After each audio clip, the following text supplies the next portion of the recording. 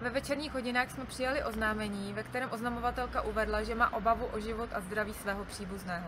Policejní hlídka vyjela na místo tuto událost prošetřit, kdy v domě na Rokycansku zjistila muže, který proti zakručící hlídce použil střelnou zbraň.